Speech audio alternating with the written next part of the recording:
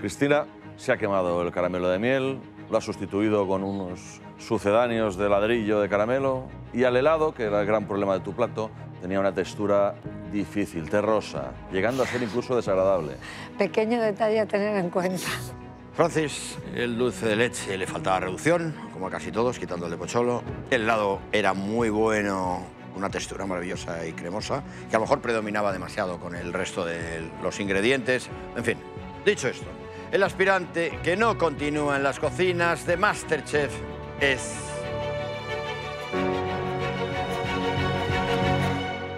Cristina. Enhorabuena, precioso. Ay, Dios mío, Dios. No, me alegro un montón. Francis, hay que refinarse un poquito más porque si no te va a costar llegar incluso a la final. Pero ya eres semifinalista. Finalista de Masterchef. Y eso no te lo quita nadie. En este momento estoy temblando, pero bueno, porque eh, llegar hasta aquí es duro, ¿eh? Exacto. No lo hubiera imaginado ni en mis mejores sueños, sinceramente. Y no es fácil, ¿eh? No es fácil a veces estar solo y, y- y cocinando, viendo la, la tensión de tal y... Bueno, pues que es emocionante soltarlo, puedo soltarlo porque, porque es emocionante llegar hasta aquí. Así que muchas gracias. Qué bien. Porque es un viaje precioso. Sube con tu querido Pocholo y el resto también, que son queridos.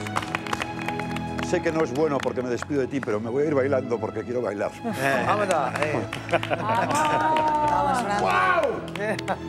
Cristina, ¿tú vienes conmigo? ¡Yo!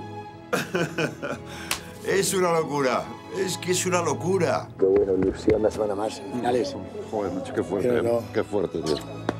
Joder, me emocionado, tío. Ya, No claro, es que, contenerme. macho, es, es que- emocionante. eh. Llegar hasta aquí es muy difícil, es un camino muy, muy difícil. Y he llegado. Bueno, Cristina. Hasta aquí hemos llegado. Oye, pero has estado un montón de programas desde que entraste de aquel delantal Sí. de la segunda oportunidad. La verdad que sí, porque yo creo que lo aprovecha muy bien, la verdad. Para mí esto ha sido un regalo, de verdad. Es una experiencia brutal.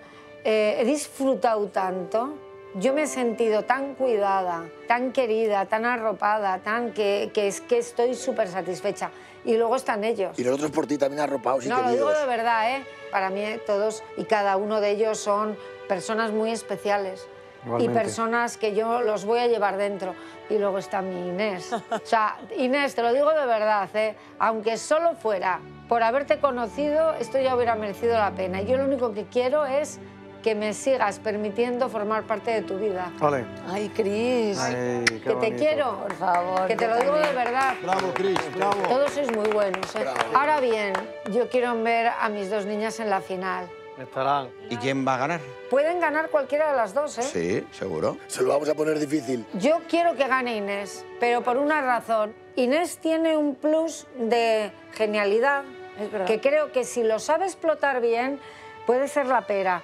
Pero bueno, cualquiera de las dos me vale, ¿eh? Yo creo que voy a recoger un poco un pensamiento general y es que has sido y eres una persona generosa, buena, conciliadora, cariñosa, cuidadora, desde el día uno, trabajadora. Los quiero. Y de verdad, muchas gracias por quitar la venda a mucha gente con, con, Completamente. con demostrar lo que eres y lo que vales. Ole. Yo creo que la vamos a echar de menos todos, porque su energía es muy particular, de cohesión, muy de buen rollo, muy de una risa, hay una complicidad, ¿sabes?